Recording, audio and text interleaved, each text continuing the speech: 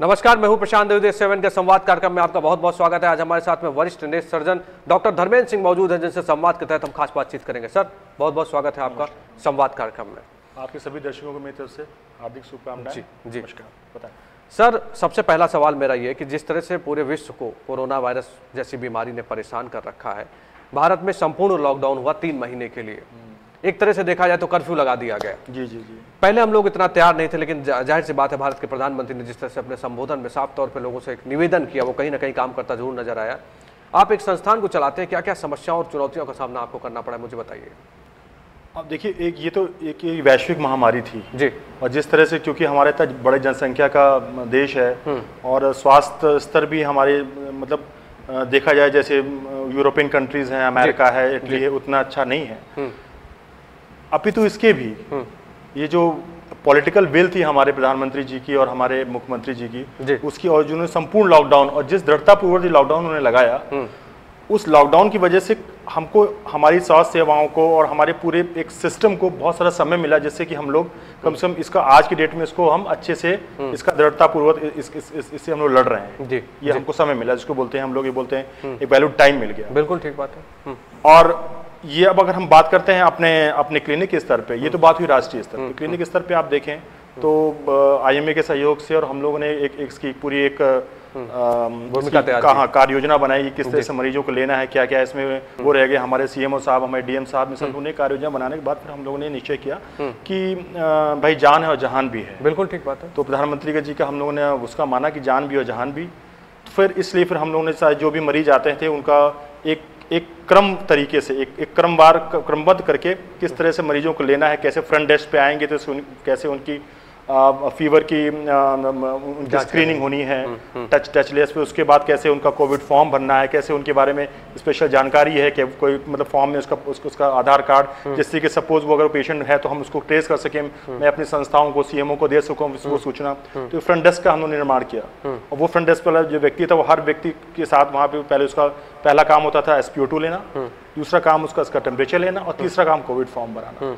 और चौथा चीज़ ये इंश्योर करना कि हर मरीज़ जो मेरे मेरे क्लिनिक में आ रहा है वो मास्क लगा के आ रहा है। Mask is mandatory for anybody who is entering my clinic इस तरह से हम लोगों ने काम किया। फिर वहीं पे हमने टेबल वहीं पे फ्रंट डेस्क पे ही एक सैनिटाइजर रखा है उससे आदमी हाथ सैनिटाइज करके अंदर आता था। इसके बाद फिर हमने ओटी में क्या क्या? किया हम लोग ने अपने ओपीडी सॉरी में अपने ओपीडी में ओपीडी सेंटर में हर हर घंटे हम लोगों ने इसको आ, इसको हाइपोक्लोराइड से हाँ। इ- इ- इसको स्टेलाइज कराया। जी जी जी। आवरली आवरली प्रैक्टिस थी हमारे यहाँ। इसके बाद हम लोगों ने एक बड़ा कार्य किया क्योंकि हमने एक डिजिटल क्लिनिक बनाई है। So my all my whole the process there are paperless paper का कोई यूज़ नहीं है हमारे यहाँ। So there is no touch clinic मुझे लगता है शायद रायबली में पहली होगी आई डोंट नो हो सकता है और भी रही हूँ। पेशेंट हमारे यहाँ आता है रजिस्टर होता है रजिस्टर के बाद उसकी इन्फॉर्मेशन मेरे चार चार डेस्क पे जाती है चार डेस्क के बाद मेरे पास आती है। वो सब कुछ that is all related you know interlinked और वो सब पेपरलेस होकर के पेपर निकलता है and that is hand over to the patient so उस कोरोना काल में और फिर we are promoting all digital payment also we have got all those apps and everything there for for the digital payment first of all thing cash अगर कोई because ऐसे हम cash economy में रह ही रहे हैं उसको आप मना नहीं कर मना सकते नहीं कर सकते, कोई कैश पेशेंट आता भी है तो कैश के लिए हमने डब्बा बना रखा है कैश में दे देता है and we don't touch it after two days we touch it और अपनी तरफ़ से हम पेशेंट को पैसा जो देते हैं वो बात वो ऑलरेडी मतलब तीन दिन पहले का होता है। जी जी So these are the precautions we have been taken. Hourly sterilization, mask, hand hygiene, and जैसे टेम्परेचर सो ऑल दिस एक कल्चर हमने डेवलप किया because we have to go long way in to it it's not a one day affair you know और जो patient हमारे पास आ रहा है तो ये हमारी प्रतिबद्धता है कि हम उनको उनका इलाज भी करें और उनको इस कोरोना से बचाएँ और एक एक संदेश भी दें उनको जो कि समाज में वो जाए तो एटलीस्ट वो समझे इस चीज़ को भाई कि हम ये मतलब सिर्फ़ मेरी क्लिनिक के लिए नहीं कि समाज में संदेश भी जाए कि ये ये ये ये ये प्रोटोकॉल्स हैं ये प्रोटोकॉल्स आपको फॉलो करने हैं। चाहे आप समाज के किसी और केंद्र में जा रहे हो आप शॉपिंग करने जा रहे हो सपोज़ आप किसी समारोह में छोटे मोटे समारोह में जा रहे हो तब भी आप इसको प्रोटोकॉल्स को फॉलो करें। इसकी हमने प्रतिबद्धता से कोशिश की है अपनी क्लिनिक ज़ाहिर सी बात डॉक्टर साहब आपने जिस तरह से बताया कि आपने डिजिटल पेमेंट को बहुत बढ़ावा दिया और भारत के प्रधानमंत्री लगातार आप देखिए कितने सालों से इस बात की अपील करते आए हैं। और कहीं ना कहीं इस कोरोना काल में जो डिजिटल भारत अभियान है उसका भी बहुत बड़ा रोल था। आपने कहा कि आपने डिजिटली सब सिस्टम कर दिया और जी, जी, जी, जी। जिस तरह से आप जागरूकता की बात कर रहे हैं कि आप टच नहीं होना चाहिए। ये बीमारी देखिए टच से ही हाँ, सबसे ज़्यादा समस्या पैदा हो रही है। तो आपने जो प्रयास किया इसको सभी लोगों को देखना चाहिए। मैं तो काबिल तारीफ़ आपको आपकी तारीफ़ करता हूँ कि आपने अगर इतने आगे बढ़ के कदम उठाया है तो ये कहीं ना कहीं समाज को सुरक्षित भी कर रहा है। जी जी इस, और जिस समाज को संदेश भी देना है। बिल्कुल संदेश देना और आप सभी को सुरक्षित करने को कोरोना वायरस की अभी कोई दवा नहीं बनी और ज़ाहिर सी बात है कि अगर हम सुरक्षित रहेंगे तो एक तरह से जागरूक भी रहना ज़रूरी है। जी जी जी। अच्छा डॉक्टर साहब मुझे बताइए कि आपके संस्थान में कई सारे लोग आपके साथ में जुड़े हुए हैं जिनकी अपने घर की रोटी चल रही है। और जब संपूर्ण लॉकडाउन तीन महीने का होता है तो एक डॉक्टर एक गार्जियन के तौर पे होता है क्योंकि आप मुखिया के तौर पे हैं। तो क्या किया आपने उन लोगों के लिए? हाँ देखिए ये जो जो भी हमारी टीम के सदस्य थे जो जो भी हमारे यहाँ कार्य कर रहे हैं मैं उनको कभी अपने यहाँ से कोई इस तरह से अपना स्टाफ नहीं समझता हूँ वो सब मेरे परिवार का पार्ट है। They are part of my team you know बिल्कुल। तो उनकी जो भी सैलरीज थी या जो भी स्ट्रक्चर था कई कई सारे बीच में वो नहीं आ पाए। हमने भी कई बार नहीं बोला उनको आने के लिए। बट उनकी सैलरी स्ट्रक्चर जो भी हमने पूर्ण उनका जो भी बजट था या उनका जो भी पैसा था वो हमने उनको एडवांस दिया। अच्छा।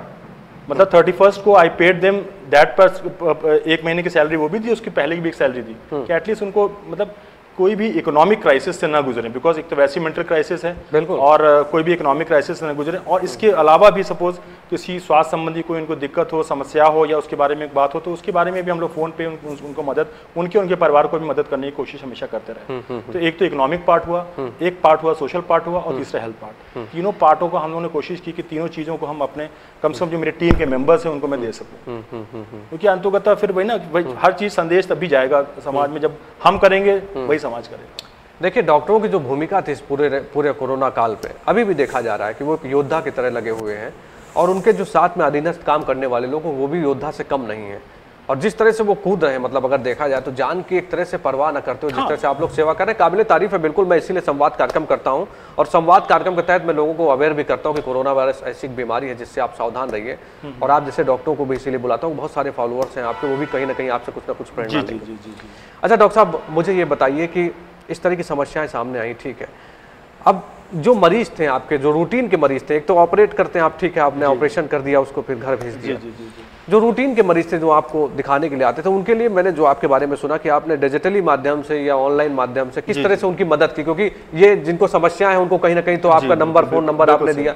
तो उस पर क्या प्रोसेस था और क्या किया आपने? देखिए दो तरीके से किया। हाँ। एक तो पहले तो हमारे मतलब सीएमओ साहब के माध्यम से एक एक डिजिटल कॉल की व्यवस्था की गई उसमें मेरा नाम भी था। जी, जी। तो हम लोग जिला अस्पताल में जाते थे टाइमिंग देते थे और उसमें समय जो भी जो भी दूरभाष पे जो उनको समस्याओं का निदान कर सकते थे वो कर सकते थे। ठीक बात इसके बाद जो हमारे पर्सनल पेशेंट थे उनको हमने व्हाट्सएप पे ले रखा है। अच्छा। सबका हाँ। ग्रुप बना हाँ, रखा है। हाँ, ग्रुप बना रखा है। नहीं व्हाट्सएप सबको दे रखा है ग्रुपिंग भी मेरी है। अच्छा। तो कई बार ज़रूरत पड़ती है तो व्हाट्सएप कॉल के थ्रू भी हम लोग कोशिश करते हैं वो उचित परामर्श दिया जाए। तीसरी चीज़ हम कोशिश करते हैं कि हमें मरीज़ को हमारे ओपीडी में जितना कम से कम आना पड़े, हम चाहते हैं कि वो उतना कम से कम आए। उन, उनका इंट्रैक्शन सोशल इंट्रैक्शन या हमारे से इंट्रैक्शन उतना कम हो उसके लिए हम कोशिश करते हैं जैसे पोस्ट ऑफ़ पेशेंट है। तो ये इसके हमने अपने मैं अपने फेसबुक पेज पे और मेरे अपने हॉस्पिटल का पेज है उस पर कई बार हमने ये सारे के निर्देश वगैरह दिए हैं। कई सारे मैंने वीडियोज़ भी मैंने डाले हैं कि भाई किन किन समस्याओं के लिए आपको आना है किन किन समस्याओं के लिए नहीं आना है। तो मेरे मेरे मरीज़ को पूरा क्लियरली पता है कि उसको किस लिए आना है किस लिए नहीं आना है। क्या ज़रूरी है क्या इमरजेंसी है ये सारी चीज़ें मैंने ये डिजिटल इंडिया के जो कि प्रधानमंत्री का जो डिजिटल इसका मतलब यही है हाँ, हाँ, कि हम we have got a greater outreach you know right right it's all about outreach you know it's it's all about reaching to the people तो मैं अपने मरीजों को अपने डिजिटल मीडिया के माध्यम से जैसे बताया ना कि मैं अपने फेसबुक पेज के माध्यम से मैंने और फेसबुक में वीडियो डाल करके मैंने उनको बताया कि ये आप और फिर उसी प्रकार से पेशेंट हमारे पास आते थे। तो इस तरह से हम उनकी मदद कर पाते थे। ज़ाहिर सी बात है देखिए समय एक परिवर्तनशील होता है। अगर आप और हमने उसमें बहुत सारा काम किया। बिल्कुल। मैं आपको टोक रहा हूँ माफ़ी चाहूँगा बताइए बताइए। कि ये अच्छा ये तो हो गया एक मरीज़ के साथ इंटरफेस अब चूँकि इतने दिन से रहा हम लोगों ने अपना जो साझा जो अप- अपने अनुभव थे या जो क्लिनिकल एक्सपर्टाइज है हमारा उसके भी बहुत सारे वेबिनार हम लोगों ने किए। क्रमवार वेबिनार किए। कम से कम में तो अ, मुझे लगता है दस या पंद्रह वेबिनार पहला वेबिनार जो यहाँ पे मतलब हमारे ऑप्थेल्मोलॉजी में हुआ तो वो मेरे द्वारा किया गया। एलकॉन कंपनी के थ्रू किया गया। And it was like by many और उसके बाद भी हम लोगों ने कम से कम आठ दस वेबिनार में इस, इस दौरान कर चुका हूँ।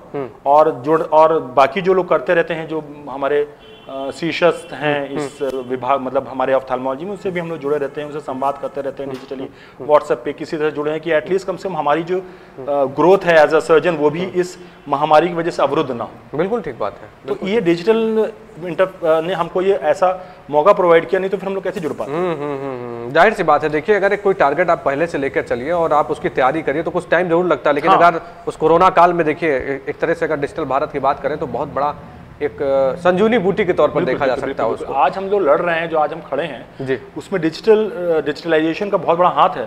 अभी प्रधानमंत्री की दूरगामी सोच का ही परिणाम है कि आज हम इस तरह से करके और इस तरह से अपना कम से कम अपने अपने विचारों को अपने स्किल्स को हर चीज़ को अपने संदेश आईएमए के थ्रू या हर तरीके के थ्रू हम अपने मरीजों को दे पा रहे हैं। हम्म, हम्म, हम्म, बिल्कुल ठीक है बिल्कुल ठीक है। अच्छा डॉक्टर साहब मुझे बताइए कि अभी मेरी आपसे बात हो रही थी आपने गोरखपुर में अपनी शुरुआत की आप जैसा बता हाँ। रहे हैं। और उत्तर प्रदेश के मुख्यमंत्री योगी आदित्यनाथ जी भी गोरख गोरखपुर से थे। आप उनके बारे में कुछ एक्सपीरियंस साझा कर रहे थे मुझे। मैं जानना चाहता हूँ आपसे कि क्या आपके एक्सपीरियंस थे हॉस्पिटल में जब थे हाँ अभी मुख्यमंत्री तो अभी वो बने तीन साल से। जी। पर हमारा उनका मतलब क्योंकि मैं वहाँ पे छात्र संघ से भी जुड़ा हुआ था जी। तो उनसे हमारा इंट्रैक्शन बहुत रहता था। और वो बहुत ही इंटरेक्टिव और बहुत ही ऊर्जावान व्यक्ति हैं। तो ये आज जो ऊर्जा आप देख रहे हैं आप मैं मैं तो मतलब कम से कम नहीं तो मैं ये बात मैं आपको बता रहा हूँ उन्नीस से लगा करके 2002 तक। अच्छा। तब वो वहाँ के सांसद भी थे। और वो एज अ सांसद और क्योंकि बहुत मतलब उनको उनका अपना एक अलग और है वहाँ पे उस क्षेत्र में। तो उस क्षेत्र के और और अपनी सांसद और अपना अपने प्रभुत्व का उसने सदुपयोग करके उस हॉस्पिटल को जो भी आज के डेट में आप बाबा राघवदास अस्पताल देख रहे हैं उसमें सारी जेई पे उन्होंने बहुत सारा काम किया है। जी। आप ये समझ लीजिए जेई का जो इम्यूनाइजेशन प्रोग्राम में डेट वहाँ के कल्चर में वहाँ के सैनिटाइजेशन में इनका योगी जी का अभूतपूर्व योगदान है। और आज की डेट में वहाँ की जो लैब्स हैं वहाँ का जो वार्ड्स हैं जी। वो जो कुछ भी है अगर आप आज आज आप देखेंगे और वो विश्व स्तरीय इस समय हमारे अस्पताल का। और जेई के मामले में क्योंकि मैं हमारा ये जो गोरखपुर है इसको ऐसा वर्ड फोकस पे रहा है हमेशा। हम्म, केंद्र बिंदु रहा केंद्र बिंदु रहा है हमेशा। पूरे वैश्विक स्तर पे। जी जी जी। उस पे भी आज की डेट में हमारा जो सेंटर है मेडिकल कॉलेज है वो आज की डेट में विश्व में इस तरह के सारे डिसिप्लिन हमारे यहाँ से जाते हैं कि ये प्रोटोकॉल्स होने चाहिए ये काम ये सारा जो चीज़ें और वहाँ पे जो एक्सपर्टाइज है वहाँ पे जो ट्रीटमेंट है वहाँ पे जो आज की डेट में जो फैसिलिटीज़ हैं इसके लिए लड़ने के लिए जेई के खिलाफ। तो उसके लिए इसमें हमारे मुख्यमंत्री जी का यशस्वी मुख्यमंत्री जी का अभूतपूर्व योगदान है। और मतलब ये ये उन्होंने कभी इसको एज अस्पताल नहीं सोचा इसको अपने परिवार की तरह लेकर के वो हमेशा चले? हैं और ये ऊर्जा तो हम लोग तभी से उनके देख रहे हैं। तो ज़ाहिर सी बात है कहा जा सकता है कि जिस तरह से उन्होंने सबसे पहले अपने संसदीय क्षेत्र में हाँ, स्वास्थ्य व्यवस्थाओं को बहुत बढ़िया किया। बहुत बहुत ज़्यादा काम किया। तो उत्तर प्रदेश में इस तरह का संकट आया तो उसमें वो घबराए नहीं और आप देखें कि हाँ, उनके पिताजी का देहांत हो जाता है और वो उत्तर प्रदेश की सेवा में लगे रहते हैं। तो कहीं ना कहीं एक मैं वही बार बार कहता हूँ कि मुखिया अगर अहम भूमिका निभाता है तो उसको सब कोई फॉलो करता है और मेरे ख्याल से करना भी चाहिए उसको। ऐसे ऐसे पुरुषों का पुरुषार्थ ही है कि जो हमारे देश को इस तरीके से चला रहा हो इतनी बड़ी विभीषिका को हम लोग बचा पा रहे हैं और विभीषिका से लड़ पा रहे हैं। बिल्कुल ठीक बात है। नहीं तो इतना बड़ा प्रदेश मतलब इतने यहाँ की यहाँ की population almost is like you know America America is almost eight to ten times bigger than this and we are facing ठीक है एंड आज की डेट में हम लोग अच्छी जगह खड़े हैं ऐसा कुछ नहीं है। हम्म, बिल्कुल भारत में देखिए ग्रोथ का जो जी बिल्कुल वो बिल्कुल। वो ये हमारे इसका फुल क्रेडिट प्रधानमंत्री जी को और हमारे प्रदेश मुख्यमंत्री को हंड्रेड परसेंट जाता है इसमें कोई दो राय नहीं है। अच्छा डॉक्टर साहब मुझे बताइए कि आपका एक शानदार हॉस्पिटल है। अभी आपने उसकी स्थापना की कुल मिला के आपने काफ़ी सालों तक यहाँ पे सेवा की। जी जी। उसके बाद आपने अपने प्रयास से जो अपनी पूंजी से आपने हॉस्पिटल को जी बनवाया। जी जी जी। तो वहाँ पे क्या क्या सुविधाएँ हैं? क्योंकि मैं देखता हूँ कि मतलब आपने कब काफ़ी हाईटेक जैसे आपने डिजिटली भारत की बात कही आपने कहा मैंने सब कुछ डिजिटल कर रखा है। जी जी जी फोर विंडो सिस्टम बना रखा है कि फिर तो मेरे पास में सब कुछ आएगा। तो एक दूरगामी सोच का जो है परिणाम दिखाई पड़ता है। जी जी जी। तो उस हॉस्पिटल में क्या क्या आपने नई चीज़ों का इस्तेमाल किया कि जिससे आदमी को परेशानी भी ना हो। जी, जी, और अभी पता लगा आप एक घंटे पहले ऑपरेट करते हैं उसके बाद फिर उससे कहते हैं जाइए आप घर जाइए। इसमें ना इसमें जी, मेरा मेरा हमेशा सोच रहा है कि I always believe in decentralization of health services health services shouldn't be centralize to some important metros और सिटीज़ यू नो मैं इसमें पूर्ण विश्वास करता हूँ कि जो हमारी स्वास्थ्य सेवाएँ हैं वो लोगों तक पहुँचे। इट्स ऑल मासेस एकदम एकदम है ना? अगर आप सब पायदान चीज़, तक सब चीज़ लखनऊ में पहुँच जाए सब कुछ दिल्ली में पहुँच जाए तो कैसे भाई आगे? रायबली का आदमी के उसको हक नहीं है? हक है? उसी हक के लड़ने के लिए actually I belong to Lucknow. है ना? और मैं लखनऊ में पढ़ा लिखा हूँ सब कुछ किया हूँ। तो मेरा रायबरेली जगह आने पे का उसका जो संदेश था या उसकी जो मेरी जो इच्छा थी वो सिर्फ़ ये थी कि मैं नहीं चाहता हूँ मैं लखनऊ में बैठकर ही लोगों की सेवा करूँ। मैं चाहता था रायबली में भी ऐसे क्षेत्र में कि जो थोड़ी सी उपेक्षित कह सकते हैं। हम्म, हम्म, और ये सपना मैंने देखा कि यहाँ पे मैं एक वर्ल्ड क्लास का आई हॉस्पिटल स्टार्ट करूँगा। और ईश्वर के आशीर्वाद से आज की डेट में हमारे यहाँ N T segment plus medical retina पूरी की पूरी विश्व स्तरीय सेवाएँ हैं। अच्छा। कोई भी मशीन आप हमारे यहाँ ऐसी नहीं देखेंगे। मतलब दी नंबर वन मतलब not second to anybody in the world world में जो जो सबसे बेस्ट होगी you will get here at Raebareli अच्छा। हाँ तो मैं ये अपनी सेवाएँ देना चाहता हूँ कि रायबरेली का व्यक्ति या रायबली के आसपास का व्यक्ति ही doesn't has to go to Delhi he doesn't has go to New York वो सारी सुविधाएँ उसको यहीं पे मिले।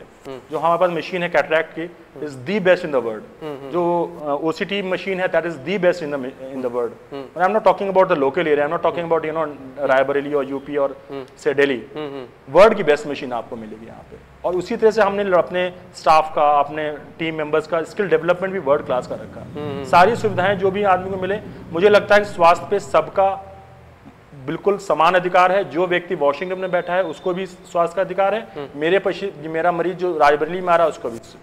अधिकार है। उसी अधिकार को बैठने के लिए मैं विश्व स्तरीय सेवाएँ लेकर के यहाँ पे आके बैठा अच्छा मेरे ख्याल से आपने जिस तरह से आज बताया इससे मतलब जिन लोगों को जानकारी नहीं थी उनको लगा होगा तो जिन्होंने सुना होगा। और ज़ाहिर सी बात है कि देखिए अगर कोई अपने घर को छोड़कर दूर जाता है तो उसको बहुत सारे स्ट्रगल करने पड़ते रहने का स्ट्रगल करना पड़ता है खाने का जो मूलभूत आवश्यकता है जिनको तो करना ही करना है। लेकिन अगर आपने विश्व स्तरीय व्यवस्थाएँ इस तरह की कर रखी तो काबिल तारीफ़ है और आपने जिस तरह से प्रयास किए हैं वो वाकई में बहुत अच्छी बात है। अगर आपने यहाँ की जनता को सोचते हुए आपने इस तरह का प्रयास किया है। That is decentralisation of health services my main motto is decentralisation of health services और हर व्यक्ति को इस बारे में सरकार भी सोच रही है। और हम लोग को भी सोचना चाहिए as as as a private entrepreneur हम लोग प्राइवेट पार्टनरशिप में सरकार अपनी तरफ़ से कर रही है हमारे भी कुछ दायित्व है कि हम लोग भी करें। और ना कि हम सब लखनऊ में बैठे हैं हम दिल्ली में बैठे हैं या गुड़गांव में बैठ के काम करें। अरे भाई और भी जगह है वहाँ भी लोग हैं। एकदम है ह्यूमन रिसोर्स वहाँ भी है। बस तैयार करने की ज़रूरत है और एक एक अगर देखा जाए तो अगर आप दृढ़ संकल्प ले लीजिए हाँ किसी बिल्कुल चीज़ का बिल्कुल तो कोई बड़ी चीज़ किसी भी चीज़ की नहीं है। डॉक्टर साहब देखिए और सीखने की भी कोई उम्र नहीं होती है। आप अगर जब भी चाहिए तब भी सीख सकते हो। लगातार अगर आप अपडेट रहेंगे तो तो है प्रक्रिया है जीवन पर्यंत। हाँ। अगर आप प्रोफेशनल जॉब में है और फिर अगर डॉक्टर है आप तो आज की डेट में फिर हमारे ऑफ्थेल्मोलॉजी ऐसी ब्रांच है। हर आधे घंटे में जैसे आपके आपके मोबाइल के अपडेट आते हैं ना हर हर हर एक महीने के बाद एक नया अपडेट आ जाता हम्म, है और वो पुरानी चीज़ों को धता बना देता है आपको उसमें फिर वो करना पड़ता है। करना तो पड़ता आप अगर अपने मरीज़ को विश्व स्तरीय सेवाएँ देने के लिए संकल्प हैं या आप कहते हैं कि आप करते हैं तो you have to be you know आपको बिल्कुल अपडेट रहना पड़ेगा। बिल्कुल ठीक बात है। अच्छा डॉक्टर साहब मुझे बताइए कि अभी क्या चीज़ बाकी रह गई? एक, एक ज़ाहिर सी बात है जैसे आपने कहा कि मैंने एक विश्व स्तरीय हॉस्पिटल बनाया फिर भी लेकिन मन में एक बात होती है टारगेट सेट होता है कि नहीं मुझे ये अभी और भी करना है अभी ये चीज़ मुझे ऐसे करनी है। तो एक तो होता सपनों का हॉस्पिटल।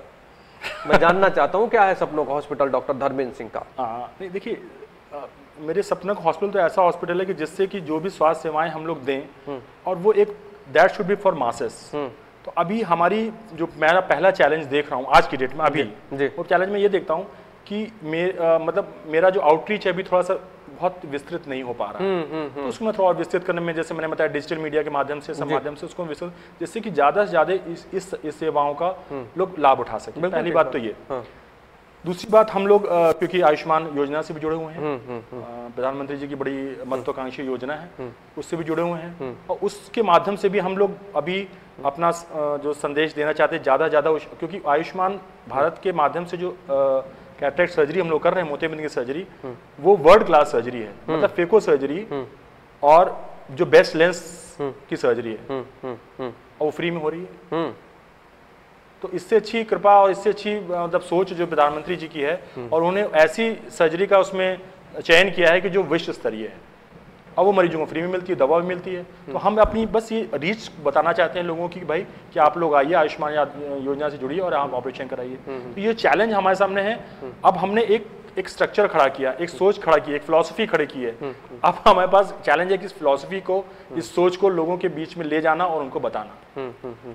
और दूसरा एक काम हम लोग जैसे मैंने और दूसरी चीज़ थोड़ा आउटरीच एक्टिविटीज़ को बढ़ाना है। हमको थोड़ा कैंप सर्विसेज़ कराना क्योंकि कोरोना आ गए सब लोग नहीं कर पा रहे। लेकिन धीरे धीरे करके लोगों की ज़्यादा से ज़्यादा लोगों की मैं तो अपने इस प्रयास को एक आंदोलन मानता हूँ। इस आंदोलन में ज़्यादा से ज़्यादा लोगों आप लोगों का अगर सहयोग मिलेगा तो कम से कम इस आंदोलन को एक एक एक पब्लिक मुहिम की तरह बना के चलना चाहिए। देखिए डॉक्टर साहब एस सेवन न्यूज़ चैनल अपने इस आंदोलन में मतलब हम भी एक कोरोना हाँ, के खिलाफ आंदोलन चला रहे हैं। तो इस मुहिम में भी मैं तो स्वास्थ्य सेवाओं को बेहतर करने के लिए मैं बहुत सोचता हूँ और मुझसे जो भी हो सकता है डॉक्टर साहब। बिल्कुल बिल्कुल। और जिस तरह से आपने देखिए आप एक जो आपने बताया मुझे ना कि इस तरह की योजना आ रही है और उसमें इस तरह के लेंस लग रहे हैं जो एकदम वर्ल्ड क्लास लेवल के हैं। तो सरकार अगर उस प्रयास को कर रही तो इस संदेश को हाँ। पहुंचाना हमारी भी ज़िम्मेदारी और आपकी भी ज़िम्मेदारी, है। और हम लोग अगर मिलकर इस सार्थक ज़िम्मेदारी को बढ़ाएँगे तो ज़ाहिर सी बात है लोग ज़ाहिर ज़्यादा से ज़्यादा लोग हम लोग अभी चीज़ बताना चाहूँगा अभी तक जो भी कैंप्स होते थे जी। हमारे देश में या कैंप्स जो सो कॉल्ड आप सुनते हैं कि बहुत सुनते होंगे नेत्र शिविर हो रहे हैं हाँ बिल्कुल। उसमें जो ऑपरेशन होता था वो हाथ से होता था मैनुअल सर्जरी मैनुअल होता था। ठीक बात है। ये पहली बार प्रधानमंत्री जी ऐसी सर्जरी लेके आए हैं that is automated that is through machine that is phaco जो वर्ल्ड की नंबर वन सर्जरी है वो प्रधानमंत्री जी दे रहे हैं। और उसमें हम लोग उनके सहयोगी हैं। बस थोड़ा सा एक, एक ये चैलेंज थोड़ा सा है कि अभी का हम लोग लोगों तक तो पहुँच नहीं पा रहे हैं और आप लोगों का सहयोग रहेगा तो ये पहुँच करके कम से कम ज़्यादा से ज़्यादा लोगों को अपने इस आंदोलन में ले बिल्कुल पहुँचेंगे। बिल्कुल आपके आंदोलन के लिए हम लोग आपके साथ में। डॉक्टर साहब हम लोग संवाद में खुलकर बातचीत करते हैं और मैं जानना चाहता हूँ डॉक्टर धर्मेंद्र सिंह का सफ़र।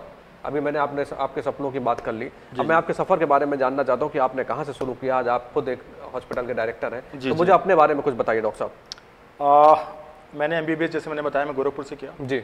और आ, मैं बहुत ही मिडिल क्लास फैमिली को बिलोंग करता हूँ। अ, उसके बाद फिर मैंने M S S N medical college Agra से किया। आगरा से जी। उसके बाद कुछ और अच्छा करने की इच्छा थी तो फिर मैंने अ, एक अरविंद आई हॉस्पिटल है विश्व स्तरीय आई हॉस्पिटल है।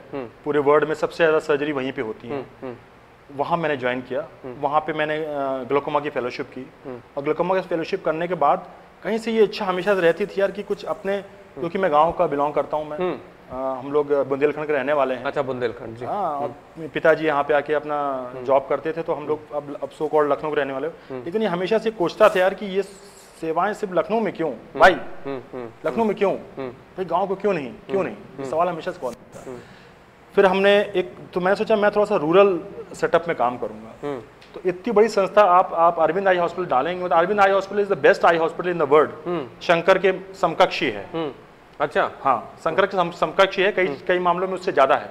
नंबर ऑफ़ सर्जरीज में उनका कोई पूरे वर्ल्ड में कोई उन, उनका सानी नहीं है। हम्म, हम्म, उसके बाद हम अच्छा समलबाई क्योंकि समलबाई एक ऐसा रोग है कि जो जिसकी डायग्नोसिस अच्छे से हो नहीं पाती है और ज़्यादा जिसमें लोगों ने काम नहीं किया तो हम लोगों ने फिर मैं यहाँ पे इंदिरा गांधी आई हॉस्पिटल है अमेठी में यहाँ पे मैंने ज्वाइन किया। अच्छा वहाँ से अमेठी आ गए आप? हाँ फिर मैं अमेठी आ गया फिर मैंने अमेठी ज्वाइन किया। बड़ा पिछड़ापन भी तो जी हाँ अमेठी में बहुत सारे ज्वाइन किया हमने बहुत सारा काम किया सात साल मैंने वहाँ रहा। अच्छा। और उसके बाद मैं वहाँ पे एज ए तीन साल एज ए वहाँ का सी भी रहा I was head over there और वहाँ की सारी आउटरीच एक्टिविटीज़ और सारी चूँकि वो राहुल जी का अस्पताल भी था तो वो ये हुआ कि भाई उनके भी कुछ सामाजिक उस समय उनकी वो थी। तो हम लोग उससे जुड़े जुड़े रहे। बिल गेट्स वगैरह भी हमारे सामने आए उनको भी हम लोगों ने दिखाया। He was very happy because seven dollars में अगर सर्जरी हो रही है यहाँ पे मतलब वहाँ की अगर देखें यहाँ में ज़मीन आसमान का फ़र्क है। हम्म, बस ये नहीं कि हम लोग अपने पोटेंशियल को जान नहीं पा रहे हैं। बिल्कुल ठीक बात है। हाँ, हम आज भारतीय अपने पोटेंशियल को जान नहीं पा रहे हैं। हम्म, लेकिन जब विश्व के लोग आते हैं वो जब देखते हैं तो वो अवाक रह जाते हैं। हम्म, तो फिर हमने कोशिश की फिर मैंने सोचा कि नहीं मुझे अब ऐसी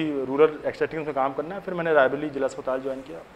वहाँ फिर अपनी सेवाएँ देने के बाद फिर एक लेवल के बाद लगा कि नहीं मुझे और सारी अच्छी मशीन्स की ज़रूरत है अच्छे प्लेटफॉर्म की ज़रूरत है अच्छे सेटअप की ज़रूरत है। फिर मैंने अपना खुद प्रतिष्ठान डाला और धीरे धीरे करके ईश्वर के आशीर्वाद से आज की डेट में हम लोग स्किल वाइज एकेडमिक वाइज और फैसिलिटीज़ वाइज मतलब वी वी हम लोग कोई किसी चीज़ का चैलेंज नहीं देते किसी को बट कोशिश ये करते हैं कि भाई, जो चीज़ वर्ड प्रोटोकॉल्स पे हैं, वो हम अपने मरीजों को दे पाए। बहुत बड़े डॉक्टर साहब बहुत बहुत बधाई आपको इस आंदोलन के लिए, जो आपने आंदोलन सोच रखा, उसमें हम आपके साथ में और आपको बहुत बहुत बधाई कि आप और अच्छे से काम करें और ज़्यादा से ज़्यादा लोगों को ठीक करें। तो ये थे डॉक्टर धर्मेंद्र सिंह जो सीधे हमारे साथ स्टूडियो में लाइव जोड़े थे। मैं आपको बता दूँ कि इन्होंने जिस आंदोलन की बात कही, वो वाकई में बहुत काबिल तारीफ़ है और इनका प्रयास कहीं ना कहीं ज़रूर सार्थक साबित होगा। अगर ऐसे डॉक्टर्स हैं जो डिजिटल भारत की बात करते हैं, डिजिटल भारत अभियान की बात करते हैं, आप देखिए कोरोना काल में जिस तरह से इन्होंने अपना प्रयास किया, फोर विंडो सिस्टम बनाया, वो कहीं ना कहीं अपने आप में जागरूकता के लिए ज़रूर बयां करता। आप भी इनसे बहुत कुछ सीखिए। संवाद में फिर होगी मुलाकात। इससे पहले आप सावधान रहिए, क्योंकि आप मास्क लगाइए, बाजारों में कम जाइए। कोरोना की अभी कोई दवा नहीं बनी है और भारत सरकार की गाइडलाइन, उत्तर प्रदेश सरकार की गाइडलाइन को ज़रूर फॉलो करिए। संवाद में फिर होगी आपसे मुलाकात। नमस्कार।